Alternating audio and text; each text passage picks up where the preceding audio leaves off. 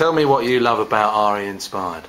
I liked it when we learned about prejudice and how lucky we are and how unlucky some other people are.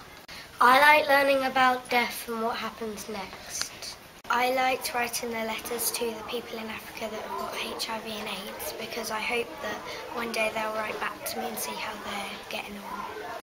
I really liked when we went to church and we studied about death and how the circle of life works. I liked going to church and learning about water bugs and about making them and about changes and death.